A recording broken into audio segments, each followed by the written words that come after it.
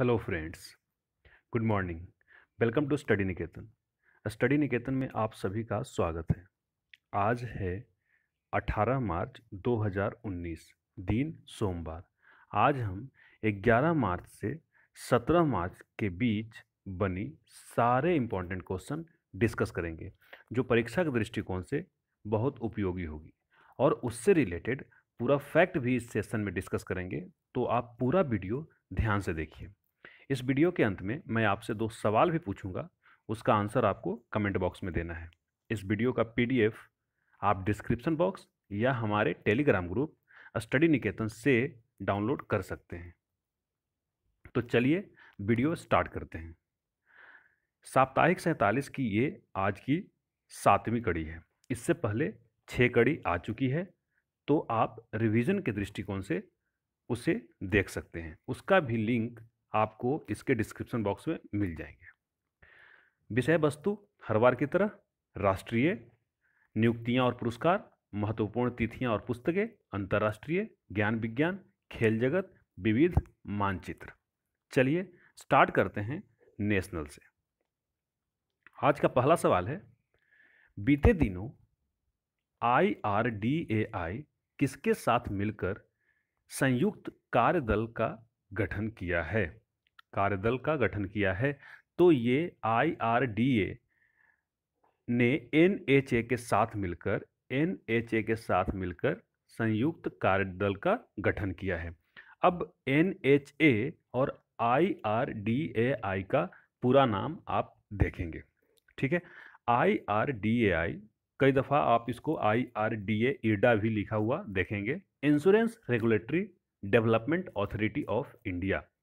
और N H A क्या है? नेशनल हेल्थ अथॉरिटी एक्चुअली ये दोनों मिलकर के जो आयुष्मान भारत प्रधानमंत्री जन आरोग्य योजना है, उसे कई दफ़ा स्वास्थ्य बीमा योजना भी कहते हैं, को इम्प्रूव करेंगे, दोनों मिलकर के इम्प्रूव करेंगे। एन एच ए का डिप्टी सीईओ दिनेश अरोड़ा इस ज्वाइंट वर्किंग ग्रुप का, जो कि संयुक्त कार्यदल है, इसके चेयरपर्सन होंगे। ठीक है? चलिए चलते हैं अगले क्वेश्चन पे। बीते दिनों जीआई टैग पाने वाला शीर्षी सुपारी किस राज्य से संबंधित है? तो ये राज्य है कर्नाटक। ये राज्य कर्नाटक है। कर्नाटक में एक जिला है उत्तर कर्नाटक जिला जहाँ पर ये सिरसी सुपारी पाया जाता है जिसको अभी हाल ही में जीआई टैग मिला है। आ, आपको याद आ रहा होगा हमने पिछले सेशन में एक और जीआई टैग के बारे में बात किया था, जो केरल के इडुक्की जिला में मिला था। क्या आप बता सकते हैं किसे वहाँ के किस चीज़ को जीआई टैग मिला था? उसका नाम आप कमेंट बॉक्स में लिखें। चलिए चलते हैं अगले क्वेश्चन पे। बीते दिनों कितने राज्यों ने ई सिगरेट पर प्रतिबंध लगाया है?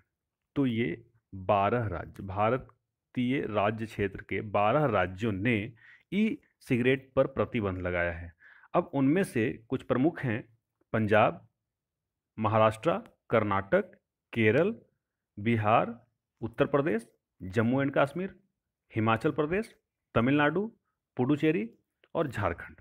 चलिए, चलते हैं अगले सवाल पे। अच्छा अब बात आई है ई सिगरेट की तो ई सिगरेट एक्चुअली इसका पूरा नाम E N D S electronic nicotine delivery system है। ये सेल से चलती है, ये ऐसी सिगरेट होती है जो सेल से चलती है। चलिए, चलते हैं अगले सवाल पे। बीते दिनों किस राज्य ने युवा श्री अर्पण योजना की शुरुआत की है? तो ये पश्चिम बंगाल। पश्चिम बंगाल सरकार ने युवा श्री अर्पण योजना की शुरुआत की है। अब ये युवा श्री अर्पण योजना है क्या? तो युवा श्री अर्पण योजना पश्चिम बंगाल के सीएम ममता बनर्जी ने राज्य में बेरोजगारी की समस्या पर काबू पाने के लिए युवा श्री अर्पण, प्रकल्प या योजना की घोषणा की है। इसके तहत जो टेक्निकल में ग्रेजुएशन करते हैं, जैसे बी, बीटेक या फिर डिप्लोमा, आईटीआई के युवाओं को एक लाख रुपया दिया जाएगा उद्यमिता के लिए, ठीक है? और ये योजना लागू होने के बाद पचास हज़ार युवाओं युवाओं को फ़ायदा मिलेगा। चलिए, चलते हैं अगले सवाल पे। अब बात आई है पश्चिम बंगाल तो पश्चिम बंगाल के सीएम तो बता ही चुका हूँ। ममता बनर्जी, वहाँ के जो गवर्नर हैं, राज्यपाल हैं, केसरीनाथ त्रिपाठी हैं, ठीक है? चलिए अच्छा अभी पश्चिम बंगाल हाल ही में रामसर कन्वेंशन के तौर पे, रामसर साइट्स में, वहाँ के एक नया जगह जो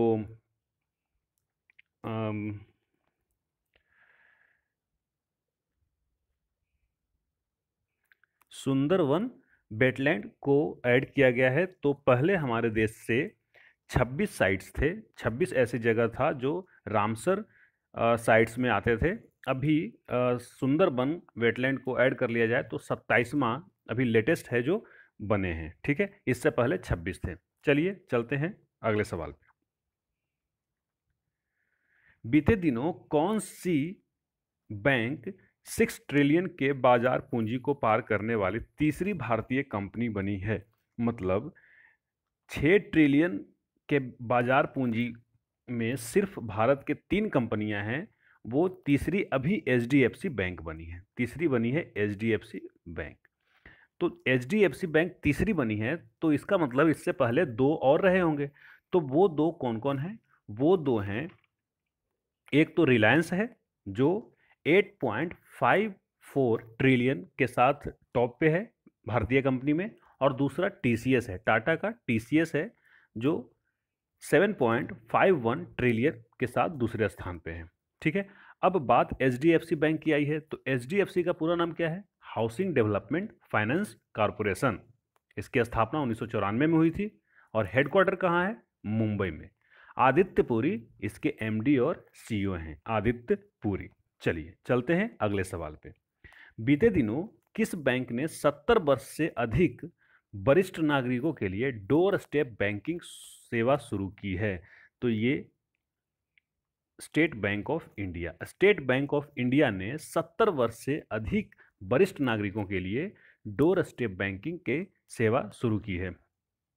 इसमें कुछ चार्जेज लिए जाएँगे और जो बुज़ुर्ग होते हैं, उनके लिए उनको बैंक ना आना पड़े। उनके मतलब बैंकिंग के सेवा जो है घर जा कर के दिया जाएगा। ठीक है? चलिए, अब बात एसबीआई की आई है तो एसबीआई का स्थापना बहुत इंपॉर्टेंट है। एक जुलाई 1955 को हुआ था। एक जुलाई 1955 को हेडक्वार्टर मुंबई में है और चेयरमैन, आप सबों को पता होगा, रजनीश कुमार है। रजनीश कुमार एसबीआई के चेयरमैन है। चलिए चलते हैं अगले सवाल पे।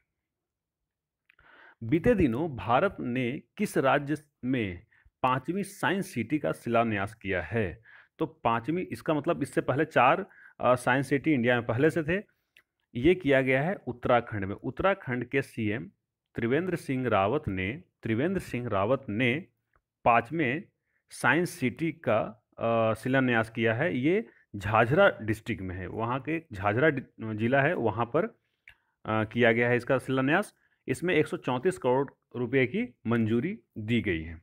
चलिए चलते हैं। आ, अच्छा बात उत्तराखंड की आई है तो उत्तराखंड में वैली ऑफ़ फ्लावर है और उत्तराखंड से ही गंगा निकलती है गौमुख से ठीक है?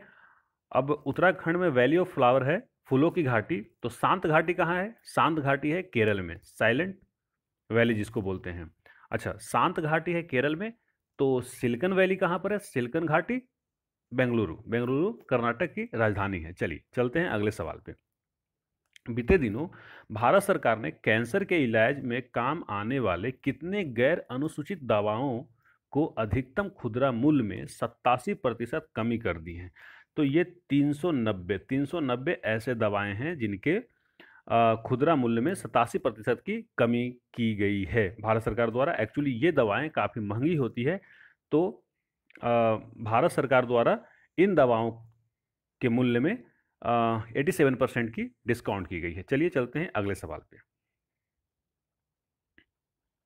बीते दिनों भारत सरकार ने किस राज्य की हेल्थ केयर परियोजनाओं के लिए विश्व बैंक के साथ समझौता किया है?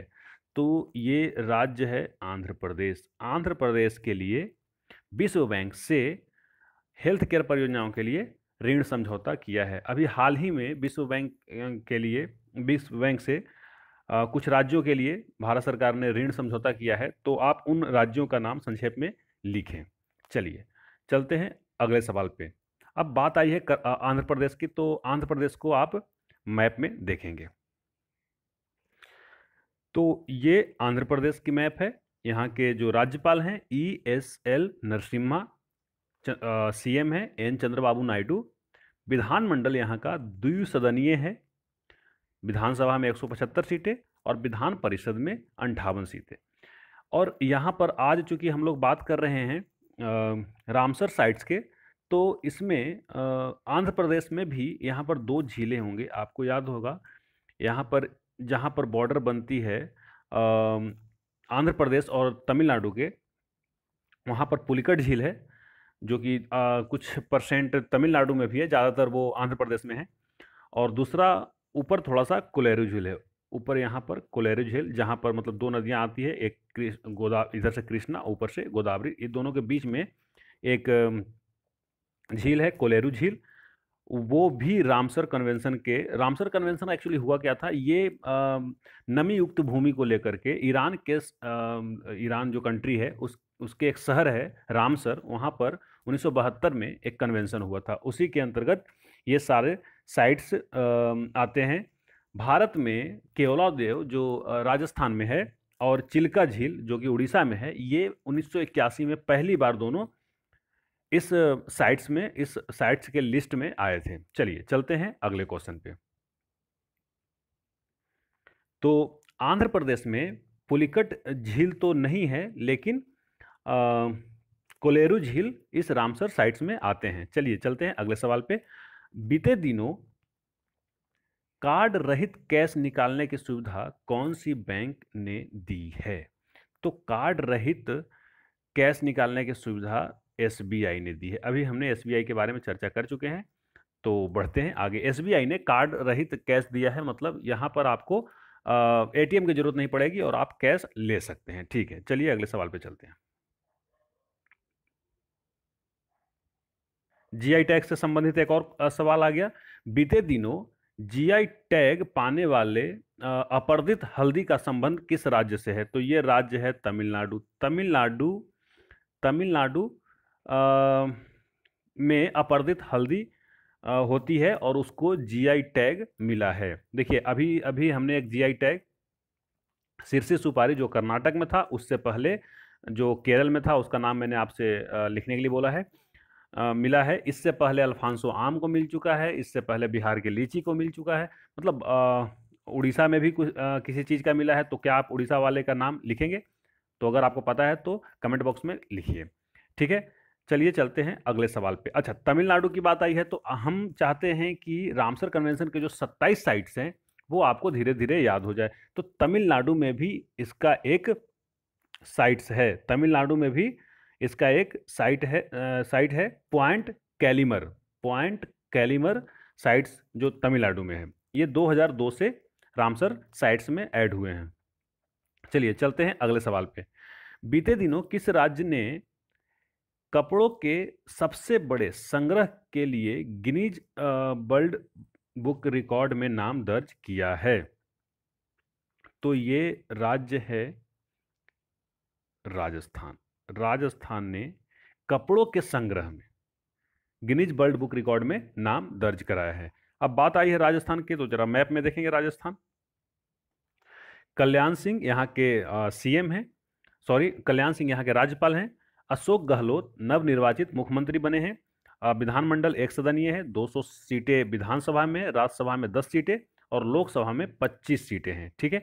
यहाँ उच्च न्यायालय, राजस्थान उच्च न्यायालय है एक सवाल और बताइए, राजस्थान उच्च न्यायालय एक्चुअली है किस शहर में? क्या ये जयपुर में है या फिर किसी और शहर में? तो आप कमेंट बॉक्स में उसका नाम बताएँ, जहाँ पर राजस्थान का हाई कोर्ट है। चलिए चलते हैं अगले सवाल पे। बीते दिनों किस राज्य ने ओबीसी आरक्षण में 14 से बढ़ाकर 27 प्रतिशत किया है। पहले वहाँ ओबीसी का आरक्षण 14 प्रतिशत था, अब उसे बढ़ा करके 27 प्रतिशत कर दिया है। तो ये राज्य है मध्य प्रदेश। मध्य प्रदेश में अभी नवनिर्वाचित सीएम हैं कमलनाथ शर्मा, जिन्होंने ओबीसी आरक्षण में 14 से 27 प्रतिशत किया है। चलिए, चलते हैं अगले सवाल पे। मध्य प्रदेश की राजधानी भोपाल है और मध्य प्रदेश की राजधानी भोपाल में एक झील है लेक है बड़ी तालाब बोलते हैं उसे वो वो भी रामसर साइट्स में है। चलिए चलते हैं अगले सवाल पे। बीते दिनों रा, में राष्ट्रपति रामनाथ कोविंद ने कितने व्यक्तियों को पद्म पुरस्कार प्रदान किए? बहुत बहुत इंपॉर्टेंट क्वेश्चन है जरा ध्यान से देखेंगे। तो इन्होंने दो बार 11 तारीख को भी दिए थे और 11 के बाद फिर सैटरडे को मतलब सिक्सटीन को। इन्होंने कुल 112 लोगों को पद्म पुरस्कार दिए हैं। अब 112 लोगों को पद्म पुरस्कार दिए हैं। उसमें से चार ला, चार लोगों को मिला है पद्म विभूषण, जो कि सबसे बड़ा, पद्म पुरस्कार में सबसे बड़ा है पद्म विभूषण। चौदह को मिला है पद्म भूषण और 94 चौरानवे को मिला है पद्म श्री, ठीक है? तो चार को मिला है पद्म विभूषण, चौदह को पद्म भूषण और चौरानवे को पद्म श्री। चलिए। उसमें से कुछ फ़ेमस नाम हैं, जिन्हें आप जानते हैं। मनोज वाजपेयी, अभिनेता हैं गौतम गंभीर क्रिकेटर हैं सुनील छेत्री फुटबॉलर ठीक है? चलिए, चलते हैं अगले सवाल पे। बीते दिनों किसे बारबी रोल मॉडल के रूप में चुना गया है? बारबी रोल मॉडल के रूप में चुना गया है दीपा कारमाकर को। दीपा कर्माकर को ढींग एक्सप्रेस भी बोलते हैं। दीपा कर्माकर को ढींग एक्सप्रेस भी बोलते हैं। एक्चुअली ये त्रिपुरा से आती हैं और त्रिपुरा के रहने वाली हैं। त्रिपुरा के अगरतला जो राजधानी है, वहाँ से हैं ये। वहाँ पर जो इनका गाँव है, उसका नाम ढींग है। इसलिए इनको लोग इनके गाँव वाले ढींग एक्सप्रेस के नाम से ही बुलाते हैं, ठीक है? इन्हें गोल्डन गर्ल भी कहा जाता है। गोल्डन गर्ल कहा जाता है। चलिए। चलते हैं अगले सवाल पे। बीते दिनों एलआईसी के नए अध्यक्ष के रूप में किन्हें नियुक्त किया गया है? तो M R Kumar, M R Kumar को एलआईसी के नए अध्यक्ष के रूप में नियुक्त किया गया है। ठीक है आपको नीचे ऑप्शन डी दिख रहा है, अश्वनी लोहानी। क्या आप बताएँगे कि अश्वनी लोहानी किस के चेयरपर्सन हैं? चलिए, चलते हैं अगले सवाल पे। बीते दिनों प्रवर्तन निदेशालय के विशेष निदेशक किसे नियुक्त किया गया है? प्रवर्तन निदेशालय को इकोनॉमिक इन्फोर्समेंट में director of economic enforcement ED भी कहते हैं। तो ये अनूप कुमार दुबे को, अनूप कुमार दुबे को ईडी के विशेष निदेशक के रूप में नियुक्त किया गया है। ठीक है? फिर से अश्विनी लोहानी है। आप यहाँ पर सौम्या स्वामीनाथन है। क्या आप इनका नाम बताएँगे? अभी मैंने एम आर कुमार के बारे में बताया। एलआईसी के प्रमुख एम आर कुमार को नियुक्त किया गया है। अश्विनी लोहानी के तो नाम आपको बताना ही है। और सौम्या स्वामीनाथन के भी हाल ही में आ, इनको नियुक्ति हुई है कहीं पर। आप उस संस्थान का नाम बताएँगे। चलिए चलते हैं अगले सवाल पे। बीते दिनों कृषि वैज्ञानिक कृषि वैज्ञानिक भर्ती बोर्ड के अध्यक्ष के रूप में किसे नियुक्त किया गया है? आदित्य कुमार मिश्रा। आदित्य कुमार मिश्रा को कृषि वैज्ञानिक भर्ती बोर्ड के अध्यक्ष के रूप में नियुक्त किया गया है। चलिए चलते हैं अगले सवाल पे। राजीव कुमार, एक ऑप्शन सी यहाँ पर है। राजीव कुमार राजीव कुमार, क्या हैं? तो आप इनका भी नाम इनके डेजिग्नेशन के साथ लिखेंगे। चलिए चलते हैं अगले सवाल पे। बीते दिनों business line change maker of the year पुरस्कार से किन्हें सम्मानित किया गया है? तो business line change maker of the year से सम्मानित किया गया है। अरुण जेटली को, हमारे वित्त मंत्री अरुण जेटली को सम्मानित किया गया है। Business line change maker of the year पुरस्कार से। चलिए चलते हैं अगले सवाल पे। बीते दिनों किसे यशवंत चौहान राष्ट्रीय पुरस्कार 2018 से सम्मानित किया गया है? पूर्व पूर्व आरबीआई गवर्नर रघुराम जी राजन को यशवंत चौहान राष्ट्रीय पुरस्कार 2018 से सम्मानित किया गया है। चलिए, चलते हैं अगले सवाल पे। अच्छा रघुराम जी राजन के बाद उर्जित पटेल बने थे और अभी हैं शक्तिकांत दास।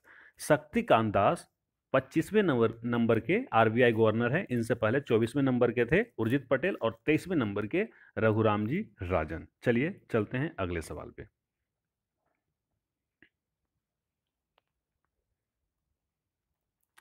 बीते दिनों आईटीबी में प्रथम पुरस्कार जीतने वाला देश कौन है? अपना प्यारा देश भारत आईटीबी में प्रथम पुरस्कार जीता है। ये आईटीबी होता क्या है? इंटरनेशनल टूरिमस बोर्स आईटीबी का पूरा नाम है, जो बर्निल बर्लिन, जो जर्मनी के राजधानी बर्लिन है, वहाँ पर पर्यटन क्षेत्र में दिया जाता है।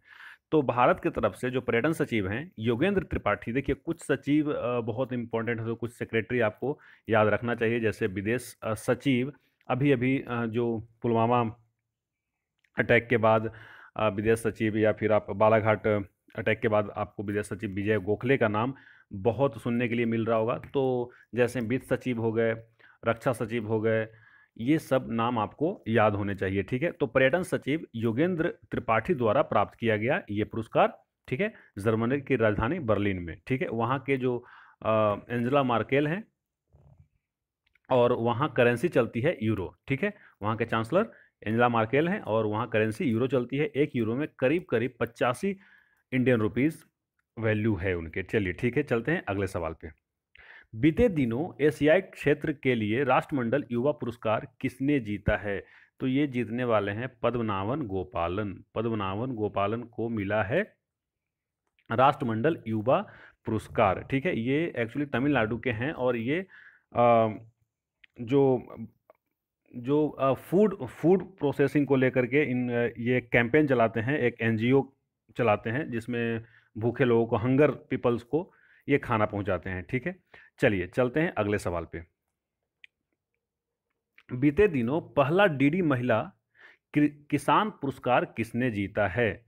स्वाति सिंगाड़े। ये महाराष्ट्र की हैं। स्वाति सिंगाड़े, इन्होंने पहला डीडी महिला किसान पुरस्कार जीता है। चलिए, चलते हैं अगले सवाल पे। बीते दिनों मोहम्मद सतायह को किस देश के प्रधानमंत्री के रूप में नामित किया गया है? तो ये फिलिस्तीन फिलिस्तीन के मुख्य सॉरी, प्रधानमंत्री के रूप में इन्हें नामित किया गया है। आप फिलिस्तीन आपको याद आ रहा होगा इसराइल जो इसराइल है इसराइल के यहाँ पर जेरूसलम है और ये वेस्ट बैंक बोलते हैं, यहाँ पर फ़िलिस्तीन है। और यहाँ पर इसराइल का राजधानी यरूशलेम जो है यरूशलेम में एक राम लल्ला राम अल्लाह करके एक जगह है वो फ़लस्तीन की राजधानी है। चलिए चलते हैं अगले सवाल पे। अब महत्वपूर्ण तिथियाँ और पुस्तकें। उसमें पच्चीसवां नंबर क्वेश्चन है, बीते दिनों विश्व किडनी दिवस कब मनाया गया है? तो विश्व किडनी दिवस मनाया गया चौदह मार्च को। चौदह मार्च को मनाया गया विश्व किडनी दिवस। अब ये एक्चुअली चौदह मार्च को फिक्स नहीं होते। ये मार्च के सेकेंड थर्सडे को मनाया जाता है। मार्च में सेकेंड थर्सडे को मनाया जाता है, विश्व किडनी दिवस। और इसका इस बार का थीम थीम भी याद रखेंगे आप, kidney health for every one everywhere. Kidney health for every one everywhere. चलिए, एक और इंपॉर्टेंट दिवस है, विश्व उपभोक्ता अधिकार दिवस कब मनाया गया? तो 15 मार्च को 15 मार्च को विश्व उपभोक्ता अधिकार दिवस मनाया गया है। एक्चुअली उन्नीस सौ बासठ में, उन्नीस सौ बासठ में जो यूएसए के पैंतीसवें प्रेसिडेंट थे, उन्होंने उनका नाम था जॉन एफ़ कैनेडी, आपने नाम सुना होगा, जॉन एफ़ कैनेडी ने इसे विश्व उपभोक्ता दिवस मनाने के लिए उन्होंने सबसे पहले यूएसए में मनाया था, फिर बाद में ये पूरे दुनिया में अंतर्राष्ट्रीय स्तर पे मनाया जाने लगा। एक्चुअली आपको बता दूँ कि भारत में 24 दिसंबर को राष्ट्रीय उपभोक्ता दिवस मनाया जाता है। राष्ट्रीय उपभोक्ता दिवस मनाया जाता है 24 दिसंबर को। चलिए, चलते हैं अगले सवाल पे। अब अंतर्राष्ट्रीय अब अंतर्राष्ट्रीय करेंगे हम लोग। बीते दिनों दुनिया का सबसे बड़ा हथियार आयातक देश कौन बना है? जिन्होंने भारत को पीछे छोड़ा है और वो कंट्री है सऊदी अरबिया। सऊदी अरबिया अब हथियार खरीदने में सबसे बड़ा देश बना है। सबसे बड़ा देश बनकर उभरा है। चलिए चलते हैं। आ, अब बात सऊदी अरबिया की आई है तो वहाँ के अभी प्रिंस इंडिया की यात्रा पे थे। तो सऊदी अरब अरब की राजधानी रियाल है रियाद है और वो वहाँ के जो प्रिंस आए थे वहाँ M B S Mohammed bin Salman वहाँ के प्रिंस हैं। चलिए चलते हैं अगले सवाल पे। किस देश ने भारत में छह परमाणु ऊर्जा संयंत्र स्थाप, स्थापना के लिए समझौता किया है। तो ये कंट्री यूएसए है। यूएसए डोनाल्ड ट्रंप, जहाँ के प्रेसिडेंट हैं। यूएसए ने भारत में छह परमाणु ऊर्जा संयंत्र स्थापना करने की समझौता किए हैं। चलिए, अभी जो विदेश सचिव हमारे जो हैं विजय गोखले, वो वहाँ गए थे और ये समझौता पे हस्ताक्षर किए हैं। चलिए चलते हैं अगले सवाल पे। बीते दिनों भारत ने किस देश के साथ नया वीज़ा समझौता लागू किया है? तो मॉलडीव मॉलडीव के साथ। जो अपना भारत इधर है, ऐसा मान लीजिए साउथ ईस्ट का मतलब भारत बनाया है तो यहाँ पर मॉलडीव है। छोटे छोटे छोटे छोटे टापू हैं मालदीव के। ऊपर हम ये लक्षद्वीप है, यहाँ पर नीचे मॉलडीव है। ठीक है? तो मालदीव के साथ नया वीज़ा समझौता लागू किया है। अब बात मालदीव की आई है तो मालदीव की राजधानी माले है और वहाँ अभी नवनिर्वाचित प्रेसिडेंट बने हैं वहाँ के मोहम्मद सोहेल मोहम्मद सोहेल। चलिए, चलते हैं अगले सवाल पे। बीते दिनों मर्सर सूचकांक में रहने योग्य सबसे उपयुक्त शहर कौन से हैं, किसे घोषित किया गया है? तो मर्सर सूचकांक में ये बियाना को सबसे बेस्ट, ये पिछले दस बार से लगातार टॉप पे बने हुए हैं। सबसे मतलब सुरक्षित शहर, सबसे उपयुक्त शहर रहने लायक बियाना है, बियाना ऑस्ट्रेलिया की राजधानी है। सेकेंड नंबर पे ज्यूरिक आता है, सेकेंड नंबर पे ज्यूरिक आता है, थर्ड नंबर पे ये दोनों हैं, ऑकलैंड और म्यूनिक दोनों। ठीक है, चलिए चलते हैं अगले सवाल पे। बीते दिनों किस देश की स्पेशल ऑपरेशन फोर्सेज ने भारत के एनएसजी के साथ समझौता किया है? एनएसजी का पूरा नाम नेशनल सिक्योरिटी गार्ड। तो यूएसए के यूएसए के स्पेशल ऑपरेशन फोर्स, फोर्सेस ने एनएसजी के साथ समझौता किया है। ये इनको ट्रेंड करेंगे। ठीक है, चलिए चलते हैं अगले सवाल पे। बीते दिनों बुनियादी ढांचे के पुनर्निर्माण के लिए भारत ने किस देश के साथ समझौता किया है? तो ये हमारे पड़ोसी देश, नेपाल है। नेपाल की राजधानी काठमांडू नेपाल के पीएम ओपी कोहली और नेपाल के राष्ट्रपति हैं विद्या देवी भंडारी। चलिए चलते हैं अगले सवाल पे। बीते दिनों ग्लोबल एनवायरमेंट आउटलुक रिपोर्ट 2019 किसने जारी किया है? तो ये जारी करने वाले यूएन है, संयुक्त राष्ट्र संयुक्त राष्ट्र, यूएन, यूनाइटेड नेशन है, ठीक है? अब बात यूएन की आई है तो यूएन के किस संस्था ने ग्लोबल इन्वायरमेंट आउटलुक रिपोर्ट जारी किया है? तो आपको याद होगा U N E P United Nation environmental programme जिसका जिसका स्थापना हुआ था केन्या के राजधानी नौरोबी में। नौरोबी में 5 जून 1972 को नौरोबी में यू की स्थापना हुआ था। तो यही जारी करते हैं ग्लोबल एनवायरनमेंट आउटलुक रिपोर्ट। देखिए यूएनईपी को यूएनडीपी से बिल्कुल कंफ्यूज मत कीजिएगा। यूएनडीपी डेवलपमेंट प्रोग्राम है और इसका हेडक्वार्टर कहाँ है? न्यूयॉर्क में। इसका हेडक्वार्टर है न्यूयॉर्क में। जबकि इसका हेडक्वार्टर मैं बता रहा हूँ आपको केन्या की राजधानी नौरोबी में। चलिए, चलते हैं अगले सवाल पे। बीते दिनों हॉटस्पॉट में सबसे ज़्यादा प्रभावित प्रजातियों की संख्या के मामले में कौन से देश शीर्ष पे रहा है? अब ये देश है मलेशिया। मलेशिया है जो टॉप पे रहा है। तो हॉटस्पॉट में सबसे ज़्यादा प्रभावित प्रजातियों की संख्या के मामले में मलेशिया टॉप पे रहा है। तो अपना देश कौन से स्थान पे रहा है? तो अपना देश रहा है सोलहवें स्थान पे सिक्सटींथ प्लेस। ठीक है, चलिए चलते हैं अगले सवाल पे। ज्ञान विज्ञान, साइंस एंड टेक। बीते दिनों डीआरडीओ ने पिनाका गाइडेड वेपन्स सिस्टम का सफलतापूर्वक परीक्षण कहाँ से किया है? तो ये पोखरण, राजस्थान के पोखरण से किया है डीआरडीओ ने Pinaka guided weapons weapons system का सफलतापूर्वक परीक्षण। एक्चुअली ये पूरा, पूरी तरीके से स्वदेशी है, डीआरडीओ द्वारा बनाया गया है। अब डीआरडीओ की बात आई है तो डीआरडीओ का पूरा नाम कई दफ़ा बताया हूँ, इस बार आप बताएँगे, वहाँ के आप लोग लिख चुके हैं कई दफ़ा। जी सतीश रेड्डी हैं जो चेयरमैन हैं डीआरडीओ के। अच्छा डीआरडीओ मिनिस्ट्री ऑफ़ डिफेंस के अंतर्गत आता है तो आप कह सकते हैं कि ministry of defence Nirmala Sitharaman जो हैं, इसके प्रमुख हैं, ठीक है? बात निर्मला सीतारमन क्या है तो इनसे पहले जो डिफेंस मिनिस्टर थे मनोहर पारिकर जो भूतपूर्व गोवा के सीएम भी रहे हैं, उनकी कल ही डेथ हुई है। तो एक अच्छे राजनेता की डेथ हुई है तो हम सब उनके आत्मा को शांति मिले, ऐसा हम लोग प्रार्थना करेंगे। चलिए, चलते हैं अगले सवाल पे। बीते दिनों चौथा आईओटी इंटरनेट ऑफ़ थिंग भारतीय सम्मेलन कहाँ आयोजित करने की घोषणा की गई है? तो ये सिलिकन सिटी सिलिकन सिटी के नाम से भी जाना जाता है। बेंगलुरु में आईओटी इंटरनेट ऑफ़ थिंग भारतीय सम्मेलन का आयोजित किया जाएगा। ठीक है, चलिए चलते हैं अगले सवाल पे।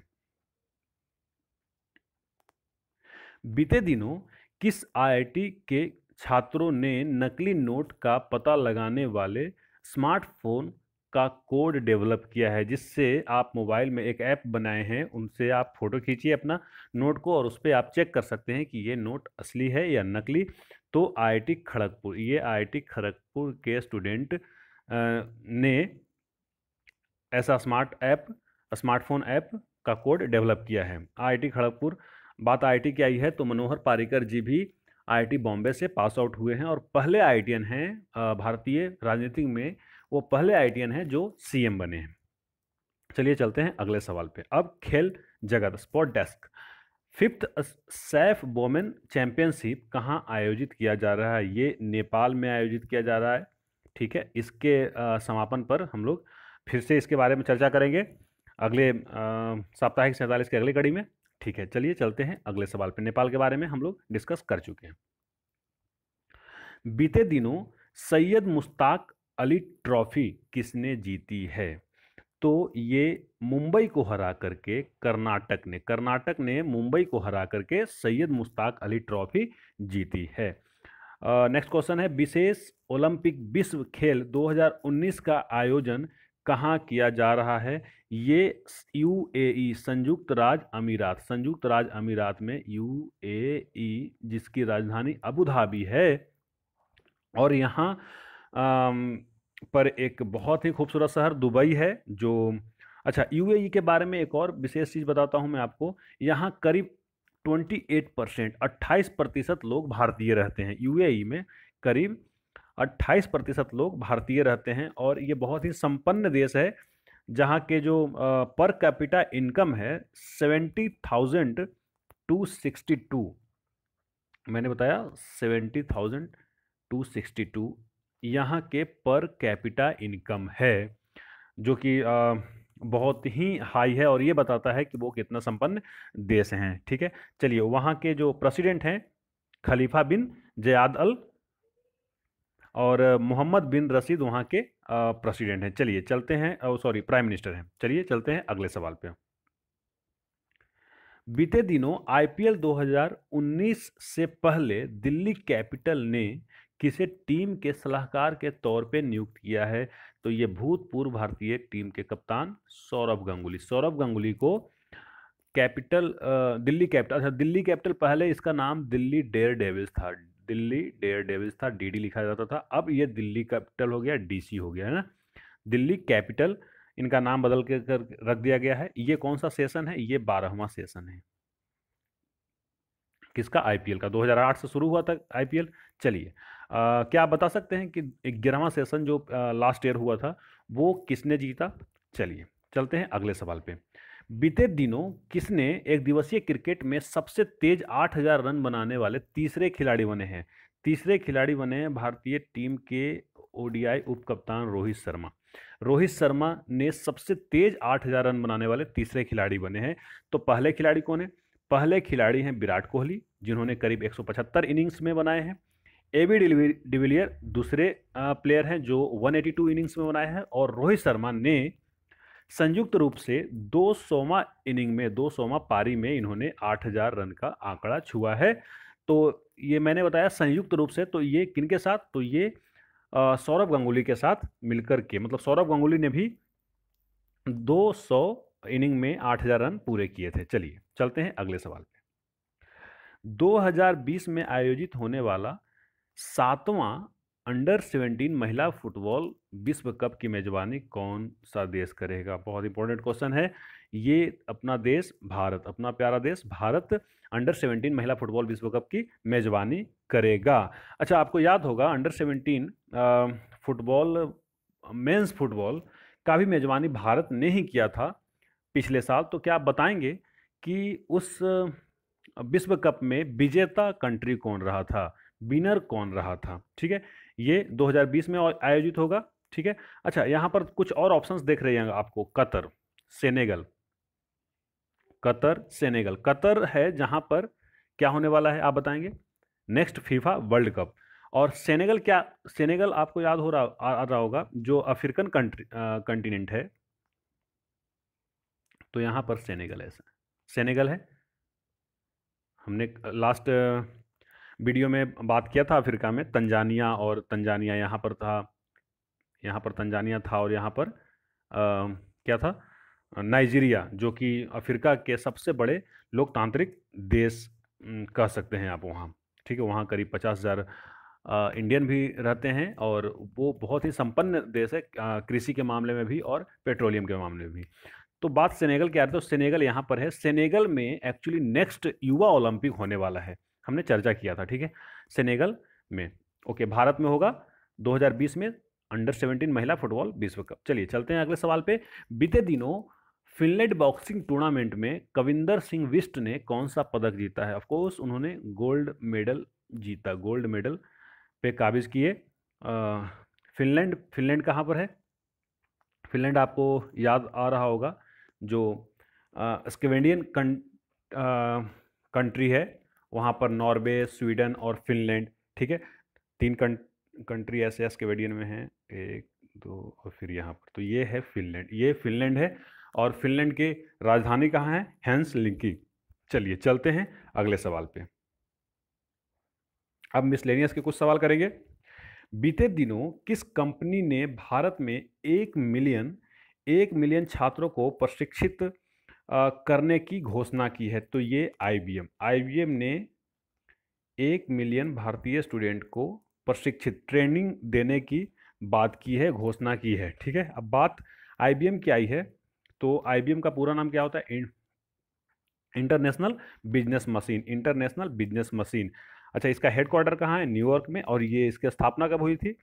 ये 1911 में हुआ था इसका स्थापना 1911 में हुआ था। चलिए, अगले सवाल पे देखेंगे 46 नंबर क्वेश्चन। विश्व के सबसे बड़े सोना, सोने के भंडारों में से भारत कौन से स्थान पर है? तो भारत का स्थान ग्यारहवा है, भारत का स्थान इलेवेंथ है, ठीक है? तो टॉप पे कौन है? तो टॉप पे यूएसए। यूएसए के पास सोने का सबसे बड़ा भंडार है। चलिए, चलते हैं अगले सवाल पे और आज के साप्ताहिक सैंतालीस के सातवीं कड़ी की सबसे आखिरी सवाल भी। बीते दिनों बाँध पुनर्वास और सुधार परियोजना के तहत भारत के 220 बांधों के लिए विश्व बैंक ने कितनी सहायता राशि देने की घोषणा की है? तो विश्व बैंक ने एक सौ सैंतीस मिलियन डॉलर सहायता राशि देगी। एक सौ सैंतीस मिलियन डॉलर, ठीक है? चलिए तो आज का सेशन हुआ समाप्त। अब मानचित्र की बात आई है तो हमने जैसा बताया था आपको कि हम करेंगे दक्षिण भारत के कुछ राज्यों को, ठीक है? दक्षिण भारत के कुछ राज्यों को करेंगे तो चलिए एक मैप बना लेते हैं ओवरव्यू यहाँ पर देखेंगे आप कि केरल है। केरल दिख रहा होगा आपको ऐसे नीचे। यहाँ केरल और पीछे से ऐसे आप, ये तमिलनाडु है। ये तमिलनाडु टी एन, ये केरल, ठीक है? केरल के ऊपर कर्नाटका, यहाँ तक कर्नाटका आती है। देखिए, मैं इस बाउंड्री लाइन की बात कर रहा हूँ, ठीक है? तो कर्नाटका यहाँ तक और कर्नाटक ऊपर यहाँ पर गोवा है, ठीक है? तो गोवा, कर्नाटक, केरल, गोवा, कर्नाटक, केरल, इधर देखेंगे तमिलनाडु और मैंने अभी अभी अभी जस्ट बताया था वीडियो में, फिर ऊपर हो जाते हैं ये आंध्र प्रदेश आंध्र प्रदेश ए पी आंध्र प्रदेश।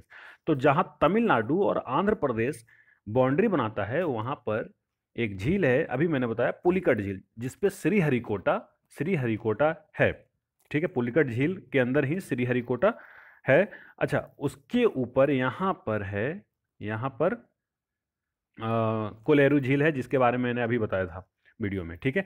तो आज हमने ये पाँच छः देखे गोवा गोवा अच्छा गोवा के ऊपर गोवा है जो महाराष्ट्र के अंदर एम्बेडेड है जैसे सेनेगल के अंदर एक कंट्री है क्या आप बताएँगे? सेनेगल के बिल्कुल बीचों बीच में है। आ, आप बताइए कमेंट कीजिए उसका नाम सर्च करके। गोवा गोवा के बाद आपने कर्नाटक देखा कर्नाटक के बाद केरला केरला के बाद तमिलनाडु तमिलनाडु के बाद आंध्र प्रदेश ठीक है? अब अगले जो मानचित्र होगा उसमें हम पूरे भारतीय राज्यों को नॉर्थ से साउथ को जोड़ेंगे बीच के जो भी सात आठ राज्य हैं, वो सारे हमने नॉर्थ ईस्ट कर लिया है, हमने उत्तर कर लिया है, हमने उत्तर पूर्व कर लिया है, दक्षिण भी कर लिया है, अब बीच के, मिडिल और वेस्ट के कुछ राज्य रह गए हैं तो अगले वीडियो में, अगले साप्ताहिक सैंतालीस में हम कंप्लीट कर देंगे। चलिए, चलते हैं अब आंसर फोर, जो फोर्थ, सॉरी, फिफ्थ होना चाहिए था, फिफ्थ का जो क्वेश्चन किए थे, उसका आंसर आपको दे दें। बीते दिनों किस राज्य, नहीं, ये फिफ्थ नहीं सिक्स सॉरी ये सिक्स होना चाहिए था। सिक्स जो हुआ था, बीते दिनों किस राज्य ने मीठी क्रांति योजना की शुरुआत की है? तो इसका सही आंसर है झारखंड, बहुत सही। आप सबों ने सही आंसर दिया है। बहुत सारे नाम हैं, मैं अगले बार से उन नामों का लिस्ट भी बना दूँगा, जो कमेंट किए हैं। सेकंड क्वेश्चन था Q R S A M missile का सफलतापूर्ण परीक्षण कहाँ से किया गया है? तो चांदीपुर से किया गया और चांदीपुर कहाँ पर है जी? चांदीपुर है उड़ीसा में। चलिए quiz for the day quiz for the day में आज के दो सवाल हैं। बीते दिनों सुधार एजेंडा लागू करने में कौन सा बैंक सबसे आगे रहा है? कौन सा बैंक सबसे आगे रहा है? और दूसरा है बीते दिनों किस राज्य सरकार ने राइस नॉलेज बैंक की शुरुआत की है? राइस नॉलेज बैंक की शुरुआत की है तो ये आप इनके आंसर आप कमेंट बॉक्स में ज़रूर दें और जितना आप डिस्क्राइब कर सकते हैं, बिल्कुल कीजिए। डिस्क्राइब करने से आप चीज़ों को याद रख पाते हैं, आप उसे ईजिली नहीं भूलते हैं। चलिए, फिर अगर आपको ये वीडियो अच्छा लगा हो तो आप अपने दोस्तों तक पहुंचाइए इसको, शेयर कीजिए लाइक कीजिए और सवालों के जवाब तो ज़रूर दीजिए। चलिए, मिलते हैं साप्ताहिक सैंतालीस के अगली कड़ी में। इसी दिन, इसी समय, तब तक के लिए नमस्कार।